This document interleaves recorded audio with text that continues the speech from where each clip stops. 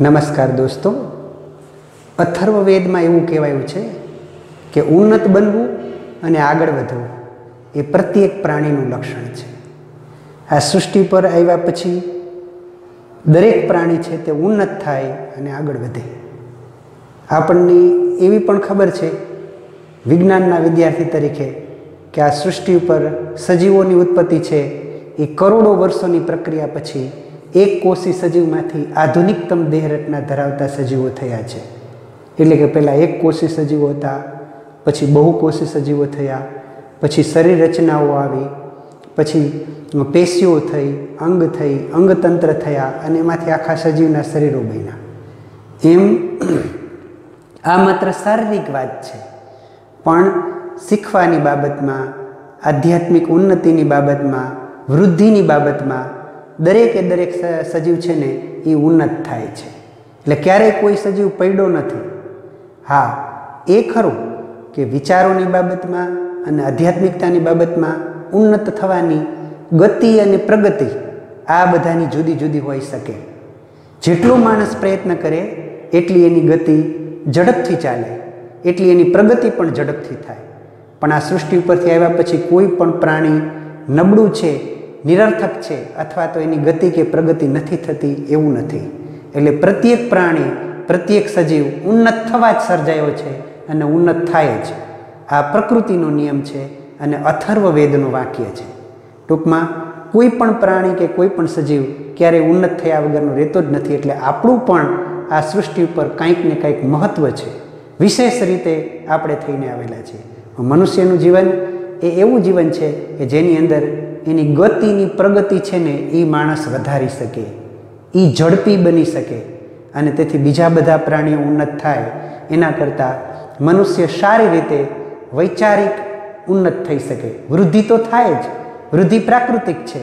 એમાં માણસ છે તે કોઈ પણ પ્રકારનો પ્રયત્ન ન કરે તો પણ થાય. પણ ગતિની પ્રગતિ છે, એની અંદર માણસનો પ્રયત્ન હોય તો એની ગતિની પ્રગતિ વધે, વધારે થતી હોય છે. આપણે ઉન્નત થવા તો સર્જાયેલા જ છીએ. એટલે તમે પણ શ્રેષ્ઠ ઉન્નત બનો, સારી રીતે ઉન્નત બનો, તમારી ખૂબ પ્રગતિ થાવ એવી શુભેચ્છા સાથે આપણે આજનું આજનું આપણું કામ શરૂ કરીએ. દોસ્તો, ગઈકાલે આપણે કાર્બનિક સંયોજનોનું વર્ગીકરણ ભણ્યા હતા. એ વર્ગીકરણની અંદર આપણે સંતૃપ્ત અને અસંતૃપ્ત બે સંયોજનોની વાત કરી હતી, પણ એમાં બંધારણ અને ઇલેક્ટ્રોનિક બંધારણ, ઇલેક્ટ્રોનિક અણુસૂત્ર છે તે થોડાક બાકી રહી ગયા હતા. એના વિશેની વાત આજે આપણે કરશું. અને બંધારણના આધારે સરળ શૃંખલાવાળા સંયોજનો શાખિત શૃંખલાવાળા સંયોજનો અને ચક્રીય સંયોજનો છે. એના બંધારણ કેવા છે અને એની ઇલેક્ટ્રોન બિંદુ નિરૂપણ કેવું છે એના વિશેની વાત આજે આપણે કરવાના છીએ. દોસ્તો, ગઈકાલે આપણે જે વર્ગીકરણ કર્યું હતું એ વર્ગીકરણની અંદર આજે તમે જોઈશો. તો આમાં તમને અહીંયા આપણે ગઈકાલે હાઇડ્રોકાર્બનનું વર્ગીકરણ કરીને સંતૃપ્ત અને અસંતૃપ્ત એવા બે ભાગ કર્યા હતા. જે હાઇડ્રોકાર્બનમાં કાર્બન કાર્બન વચ્ચે ફક્ત એક જ બંધાવેલો હોય, એને સંતૃપ્ત સંયોજનો કહે છે. એને બધાને આલ્કેન કહેવાય. આ બધા આપણે આલ્કેનના સૂત્ર લેખા છે. જે હાઇડ્રોકાર્બનના આમાં કાર્બન કાર્બન વચ્ચે માત્ર એક જ બંધ છે. જે હાઇડ્રોકાર્બનમાં કાર્બન કાર્બન વચ્ચે દ્વિબંધ આવેલા હોય, એને આલ્કીન કહેવાય. એમાં કાર્બન કાર્બન વચ્ચે દ્વિબંધ હોય અને બાકીના કાર્બનો છે બાકીની સંયોજકતા હાઇડ્રોજન વડે સંતોષાયેલી હોય. જે હાઇડ્રોકાર્બનમાં કાર્બન કાર્બન વચ્ચે ત્રણ બંધ આવેલા હોય, એને આલ્કાઇન કહેવાય.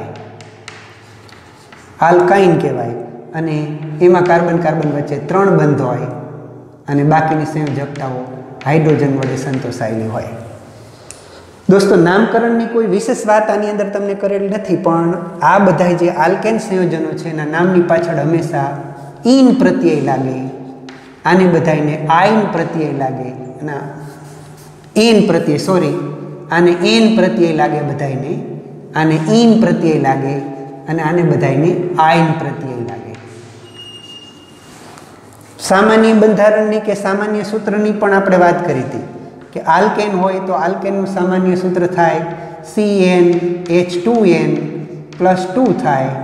આમાં થાય C N H two N અને આમાં થાય C N H two N minus two ટૂંકમાં કહેવાનો મતલબ એમ છે કે આ આલ્કેન છે એ એકલું સંતૃપ્ત સંયોજન છે. આ બે અસંતૃપ્ત સંયોજન છે. જેમાં કાર્બન કાર્બન વચ્ચે દ્વિબંધ કે ત્રિબંધ હોય એવા હાઇડ્રોકાર્બન સંયોજનને અસંતૃપ્ત સંયોજનો કહેવાય. અસંતૃપ્ત હાઇડ્રોકાર્બન કહેવાય. આમાં જો વચ્ચે દ્વિબંધ આવેલા હોય, તો એવા સંયોજનો છે તે બધા આલ્કીન કહેવાય.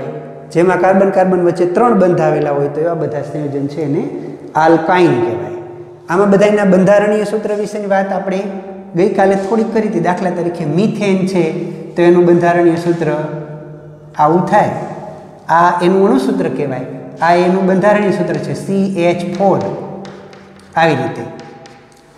એવી રીતના પહેલું મિથેનમાંથી પહેલું જ જો સંયોજન બનાવવા જાવ એક કાર્બનવાળું તો આલ્કિન કે આલ્કાઇન બને નહીં, કારણ કે ઓછામાં ઓછા બે કાર્બન તો એની અંદર જોઈએ જ. એટલે આની અંદર મિથિન કે મિથાઇન બને નહીં. એની વચ્ચે એના સૂત્રો જે છે, એ સૂત્ર આપણે લખી શકીએ નહીં અને એવા સ્થાયી પણ હોય નહીં.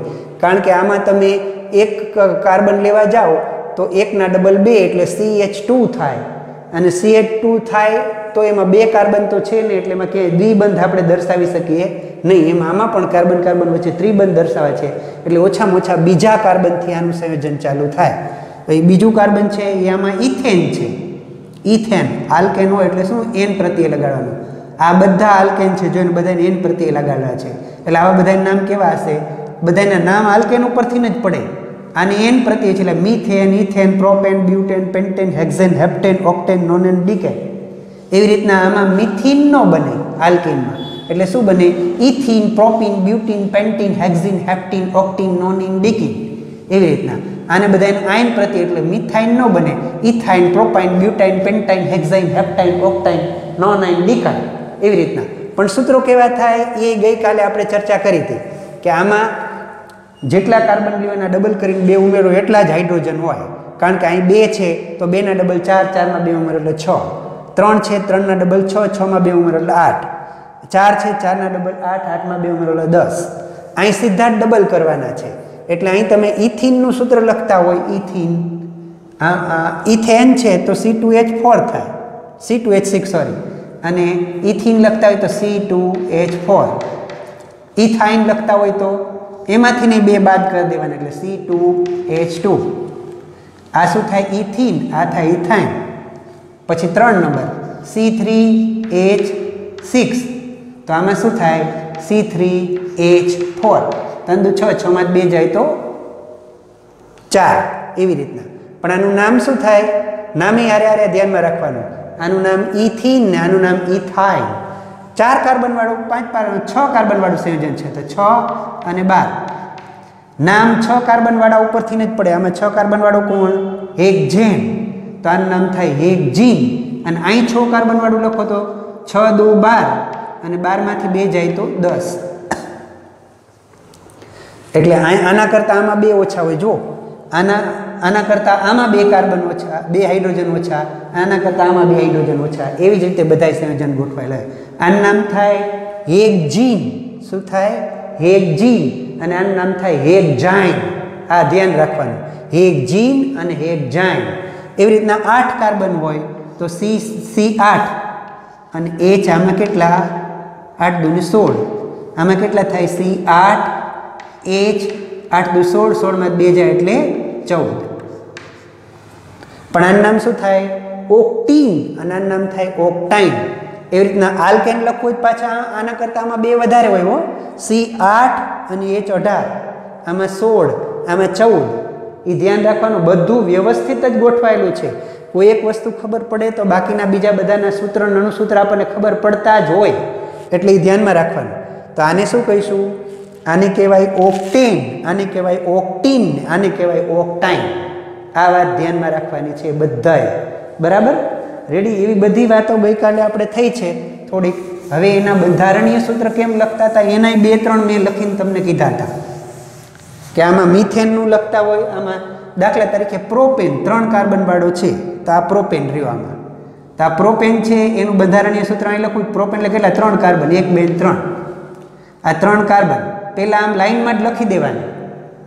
આ નામ ઉપરથી કેટલા કાર્બન છે એની ખબર પડે? જો, મિથેન, ઇથેન, પ્રોપેન બ્યુટેનિક મિથેન એટલે એક કાર્બન, ઇથેન એટલે બે, પ્રોપેન એટલે ત્રણ, બ્યુટેન એટલે ચાર. પછી તો બાકીના બીજા બધા તો એના નામ ઉપરથી ખબર પડે એવા છે. પેન્ટેન હેગજેન હેપ બ્યુટેન અહીં છે, પેન્ટેન હેગજેન પેન્ટા એટલે પાંચ હેગજા એટલે છ, હેપ્ટા એટલે સાત, ઓક્ટા એટલે આઠ, નોના એટલે નવ ડીકા એટલે દસ. એ તો પછી ખબર પડે એવા જ છે. આ બધા રહ્યા તેને શું કહેવાય? અણુસૂત્ર. હવે હું લખું છું એ બધા કેવા છે? બંધારણીય સૂત્ર. આ બંધારણીય સૂત્ર લખતા હોય તો પહેલાં જેટલા કાર્બન છે એ ત્રણે ત્રણ લાઇનમાં લખી લેવાના. ત્રણ લાઇનમાં લખીને પછી જેટલી સંયોજકતાઓ થવા તૂટે ને એટલા હાઇડ્રોજન મૂકવાના. કાર્બનની ચાર સંયોજકતા થવી જોઈએ. એની એક આ ગણવાની. બે, ત્રણ, ચાર. એક, બે, ત્રણ, ચાર. એક, બે, ત્રણ, ચાર. અહીં બધે હાઇડ્રોજન મૂકી દો ને, એટલે આપોઆપ એનું બંધારણીય સૂત્ર થઈ જાય. આમ, ધ્યાનમાં રાખો. આ બધું શું થયું એનું? બંધારણીય સૂત્ર. આ બંધારણીય સૂત્રમાં તમે જોઈશો તો કાર્બન ત્રણ એટલે સી થ્રી આર્યા અને એચ ત્રણ ત્રણ છ, સાત અને આઠ. સી થ્રી એચ એટ પાછા થઈ જવા જોઈએ. આ શેનું સૂત્ર છે? પ્રોપેન. શેનું સૂત્ર છે? પ્રોપેન. એમ પ્રોપીન લખતા હોય તો આમ લખવું પડે. એક, બે ને ત્રણ કાર્બન તો લાઇનમાં લખી જ દેવાના. પણ આમાં દ્વિબંધ આવે. બધાય કાર્બન વચ્ચે દ્વિબંધ મૂકવાના નથી. આ ધ્યાન રાખવાનું. કોઈ પણ એક કાર્બન વચ્ચે, કાં અહીંયા મૂકો અને કાં અહીંયા મૂકો. બરાબર? તો એનું આપણે સમજો અહીંયા મૂકીએ. તો પછી ચાર સંયોજકતા થવા જેટલા તૂટે એટલા હાઇડ્રોજન મૂકવાના. આ એક, બે, ત્રણ, ચાર. આના ગણો એક, બે, ત્રણ અને અહીં એક જ, ચાર. આના એક, બે, અહીં ત્રીજો અને ચોથો. આમ ઉપર નીચે મૂકવા હોય તો છૂટ. હવે અહીં હાઇડ્રોજન મૂકી દો બધે. એટલે આ બધું થયું એનું બંધારણીય સૂત્ર. હા. આમાં તમે જુઓ, એક, બે ને ત્રણ, સી થ્રી. સી થ્રી પછી એચ કેટલા? ત્રણ ને ત્રણ, છ. થઈ ગયા? આમાં સીધા ડબલ આવે. અને આમાં શું આવે? એક હજી બે એના કરતાં ઓછા આવે એટલે આ શેનું બંધારણીય સૂત્ર થયું? પ્રોપેન. આ પ્રોપીન અને હવે પ્રોપ આઈન લખું છું. એમાં પણ ત્રણ કાર્બન તો છે જ. પણ એમાં કોઈ પણ એક કાર્બન વચ્ચે ત્રણ બંધ છે એટલે અહીંયા ત્રણ કરી નાખીએ આપણે. આમ ત્રણ. પછી એનું બંધારણીય સૂત્ર લખતી વખતે અહીં જોવાનું, ચાર થવા જેટલા ઘટે એટલા હાઇડ્રોજન. આ એક, બે, ત્રણ, ચાર. આનું ગણો, આ કાર્બનનું. એક, બે, ત્રણ ને ચાર થઈ ગયા. આમાં એકે હાઇડ્રોજન નહીં મૂકવાનું. આ ધ્યાન રાખવાનું. આની ચાર સંયોજકતા અહીંયા થઈ જ જાય છે. જુઓ, આ કાર્બનમાં આ એક, બે, ત્રણ ને ચાર એટલે એને કાંઈ ન ઘટે હવે. આને શું ઘટે છે ચાર થવા? એક, બે ને ત્રણ તો ખરા, પણ હવે એક જ ઘટે છે એટલે એક હાઇડ્રોજન. અહીંયા એક હાઇડ્રોજન અહીંયા, એક અહીંયા અને એક અહીંયા. એટલે આ થઈ ગયા, જુઓ, સી થ્રી એચ, એક, બે, ત્રણ ને ચાર. કેટલા થવા જોઈએ પ્રોપેનમાં? અહીં પ્રોપેન હોય તો કેટલા થવા જોઈએ? સી થ્રી એચ એટ થઈ ગયા. પ્રોપીન હોય તો કેટલા થવા જોઈએ? સી થ્રી એચ સિક્સ થવા જોઈએ. પ્રોપાઇન હોય તો કેટલા થવા જોઈએ? સી થ્રી એચ ફોર થવા જોઈએ. એ થઈ જવા જોઈએ. પ્રોપેન છે, પ્રોપીન છે કે પ્રોપાઇન છે એ કેની ઉપર ખબર પડે? એક બંધ હોય તો પ્રોપેન બી બંધ હોય તો પ્રોપીન, ત્રણ બંધ હોય તો પ્રોપાઇન, એમ કોઈ પણ હોઈ શકે. આ આપણે કેટલા? ત્રણ કાર્બનવાળું લખ્યું છે. તો એનું સૂત્ર શું થાય? સી થ્રી એચ સિક્સ ત્રણ છ બે આઠ આઠ. C three, H six. આ આઠ થાય, આ સિક્સ થાય, અને આ થાય સી થ્રી, એચ ફોર. એવી રીતના કોઈ પણ લખી શકાય. ગમે તે બધાયના બંધારણીય સૂત્ર લખી શકાય. દાખલા તરીકે હું એક જ લખું હવે કોઈ પણ, એટલે કયું? દાખલા તરીકે પેન્ટેન લખું. પેન્ટેન પેન્ટિંગ, અને પેન્ટાઇન સાદું અણુસૂત્ર લખશો તો શું થશે? પાંચ. પાંચ દુ દસ ને બે, બાર. પાંચ. પાંચ દુ દસ. પાંચ. પાંચ દુ દસમાં બે હજાર એટલે આઠ. આના ત્રણેયના બંધારણીય સૂત્ર લખવા હોય તો કેમ લખવા? જો પેન્ટ એટલે પહેલાં પાંચ તો લાઇનમાં લખી જ નાખવાના. આ પાંચ લાઇનમાં. પેન્ટેન છે એટલે કાર્બન કાર્બન વચ્ચે એક જ બંધ હોય. એટલે એમાં કાંઈ નથી કરવાનું. આમાં જેટલામાં ઘટે ને એટલા હાઇડ્રોજન મૂકી દેવાના. એક. બે, ત્રણ, ચાર. એટલે તમે જોઈ શકો આ પહેલું અને છેલ્લું રહ્યો ને એમાં ત્રણ આવશે. બાકીના ઉપર, નીચે બધામાં બબે જ આવે. અહીં બધે શું છે? હાઇડ્રોજન.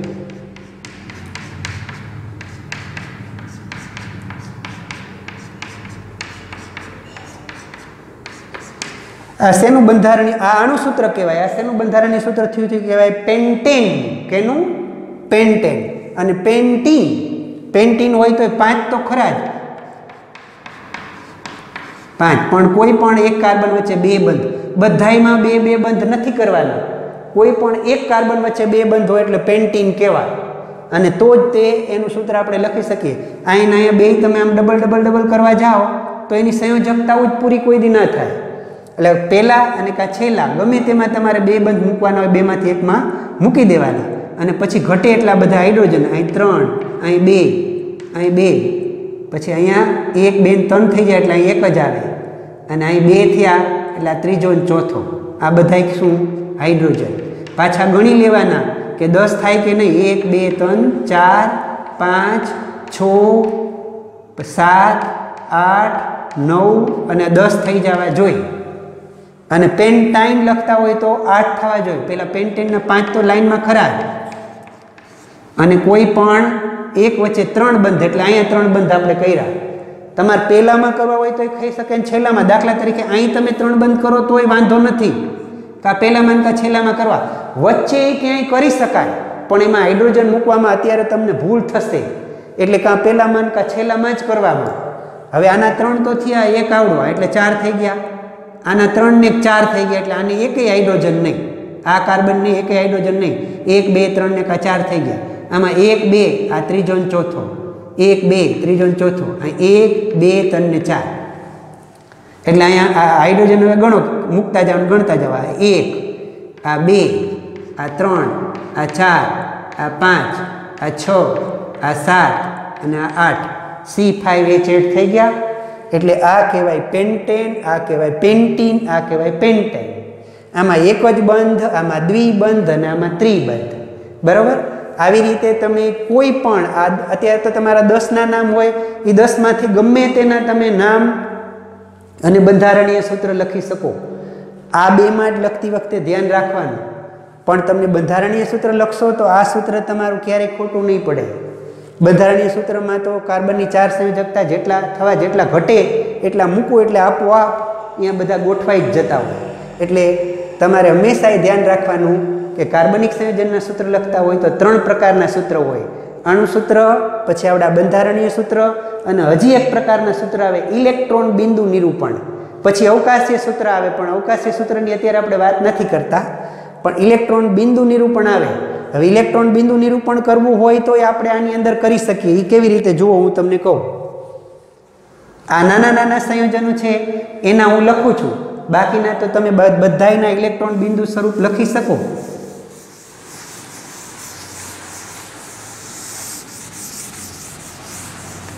ઇલેક્ટ્રોનની ભાગીદારીથી સહસંયોજક બંધન થઈ અને બધાયની બહારની કક્ષામાં બે કે આઠ ઇલેક્ટ્રોન થઈ જવા જોઈએ.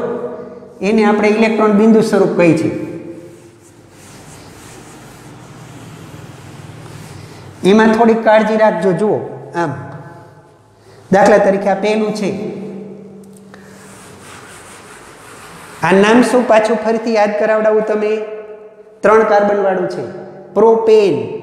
આ પ્રોપીન અને આ પ્રોપાઇન, એના આપણે આ અણુસૂત્ર કહેવાય. આપણે આ બંધારણીય સૂત્ર છે, નીચે લખાય. અને હવે ત્રીજા આપણે ઇલેક્ટ્રોન બિંદુ નિરૂપણ લખું છું. ઇલેક્ટ્રોન બિંદુ નિરૂપણ કરવા માટે તમારે ધ્યાનમાં રાખવાનું કે એક બંધરીઓને એ બે ઇલેક્ટ્રોનથી બને, એટલે અહીંયા બધે બબે બબે બબે ઇલેક્ટ્રોન આવે. પણ પાછું આપણે એ જોવાનું કે બધાએ કાર્બનની ફરતે આઠ ઇલેક્ટ્રોન થઈ જવા જોઈએ અને બધા હાઇડ્રોજનની ફરતે બે ઇલેક્ટ્રોન થઈ જવા જોઈએ. પણ તમે આ જે એક બંધ કર્યું છે ને, આ બબે બબે મીંડા કરવાનું રાખશો તો તમને વાંધો નહીં આવે. જુઓ, આમ પહેલાં લાઇનમાં ત્રણ કાર્બન છે.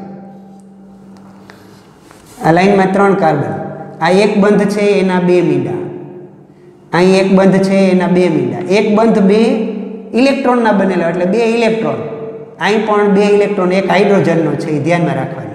અહીં છે એક હાઇડ્રોજનનો.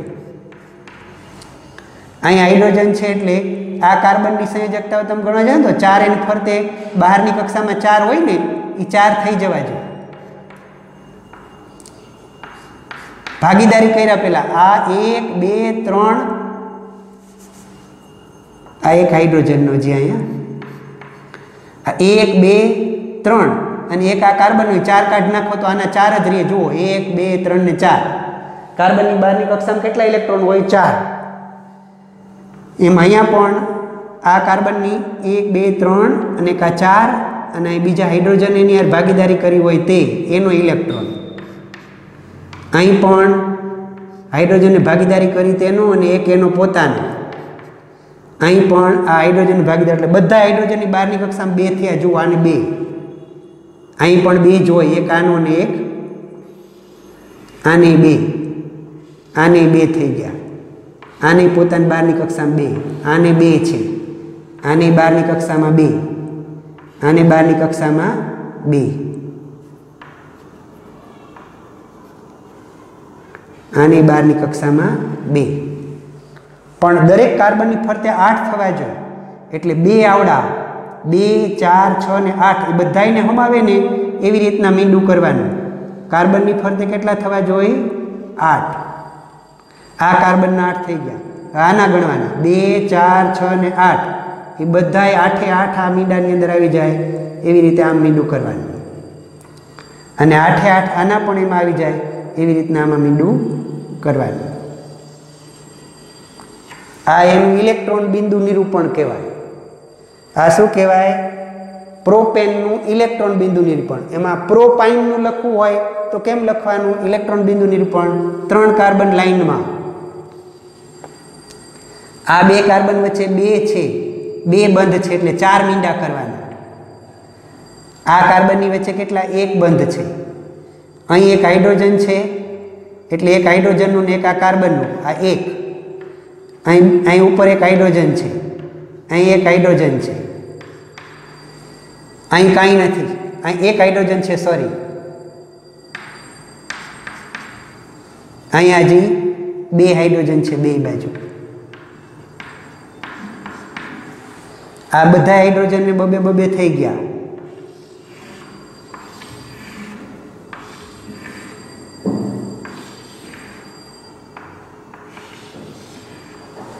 અને બધા કાર્બન ફરતે આઠ થવા જોઈએ. બે, ચાર, છ અને બે આવડા એટલે આઠ.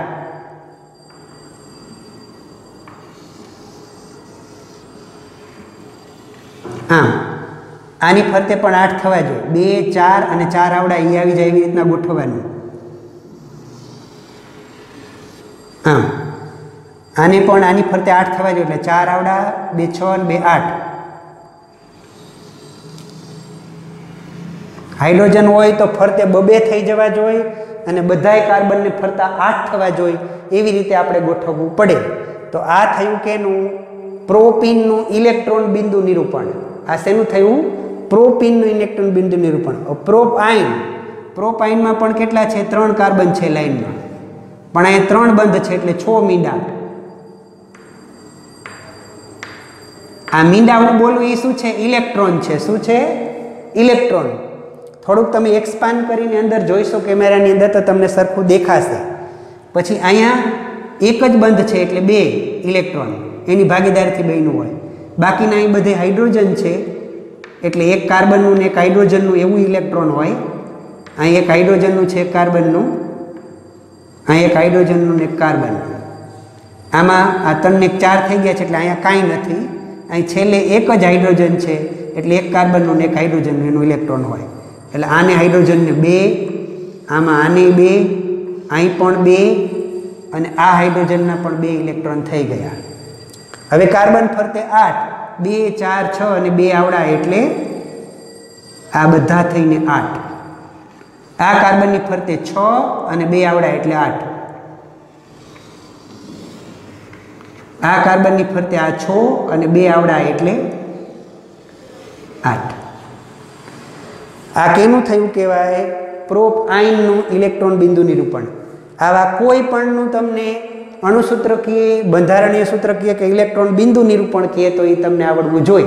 મેં માત્ર ત્રણે ત્રણમાં જેટલા આવતા હતા, એનું એક ઉદાહરણ લઈને તમને કીધું છે. એના બદલે અલગ અલગ પણ તમને પૂછી શકે અને એક પણ પૂછી શકે. દાખલા તરીકે તમને એમ કહે કે પેન્ટેન, પેન્ટીન અને પેન્ટાઇનના અણુસૂત્ર, બંધારણીય સૂત્ર અને ઇલેક્ટ્રોનિક સૂત્ર લખો તો તમને આવડે. બરાબર ને? અહીં શું કરવાનું? પેન્ટેન, પેન્ટીન, પેન્ટાઇન પહેલાં બંધારણીય સૂત્ર લખી નાખવાના. પછી શું લખવાના? ઇલેક્ટ્રોન બિંદુ નિરૂપણ. દરેક કાર્બનિક સંયોજનને ચાર પ્રકારના સૂત્ર હોય. અણુસૂત્ર, બંધારણ સૂત્ર, ઇલેક્ટ્રોન બિંદુ નિરૂપણ અને અવકાશીય સૂત્ર પણ. અવકાશીય સૂત્ર મેં તમને કીધું તેમ અત્યારે આમાં આપણે વાત કરી નથી. એ આકાશમાં કેવું અણુ ગોઠવણી દર્શાવે છે ને એવું? દાખલા તરીકે મિથેન હોય તો એ આકાશમાં સમચતુષ્ફલકે ત્રિપરિમાણીય રચના ધરાવતો હોય. આવી રચના. આ છે ને મિથેનનું અવકાશીય સૂત્ર થાય. અને મિથેનનું અવકાશીય સૂત્ર કહેવાય. પણ એવી અત્યારે જે આપણે વાત કરતા નથી. આગળ ઉપર જતા એવા સૂત્રો પણ તમારે આવશે. પણ આ ત્રણ સૂત્રનો પ્રકાર તમારે યાદ રાખવાનો છે. અને આ ખાલી દસ નામ યાદ રાખશો તો બાકીના બીજા આમાંય દસ ને આમાંય દસ એ તમને સરળતાથી આવડશે. ધ્યાન રાખજો, આનું બંધારણ સૂત્ર લખતી વખતે કોઈ પણ કાર્બન વચ્ચે બે બંધ કરવાના, આલ્કાઇનનું બંધારણ સૂત્ર લખતી વખતે કોઈ પણ કાર્બન વચ્ચે ત્રણ બંધ કોઈ પણ, બધાય વચ્ચે નહીં. બરાબર? આ ધ્યાન રાખજો. તમારી જે ભૂલ થાય છે એ બધાય વચ્ચે કરતા ઓછો એટલે થાય છે. બધાય કાર્બન વચ્ચે ત્રણ ત્રણ ત્રણ ત્રણ બંધ કે બધાય કાર્બન વચ્ચે બે બે બે બે બંધ એમ દર્શાવવાનું નથી. કોઈ પણ એક વચ્ચે એ ધ્યાન રાખજો. હવે આપણે વાત કરીએ બંધારણના આધારે વર્ગીકરણની. હાઇડ્રોકાર્બન સંયોજનો એટલે હાઇડ્રોજન અને કાર્બનમાંથી બનેલા સંયોજનો. એને આપણે હાઇડ્રોકાર્બન સંયોજન કહીએ છીએ હાઇડ્રોકાર્બનનું એક વર્ગીકરણ આપણે કર્યું એ સંતૃપ્તતા અને અસંતૃપ્તતાને આધારે હવે એના બંધારણના આધારે વર્ણન આપણે કરીએ. બંધારણના આધારે એના કેટલા પ્રકાર છે વર્ગીકરણમાં એની વાત કરી અને એના ઇલેક્ટ્રોન બિંદુ નિરૂપણની વાત આજે હું તમને કરું.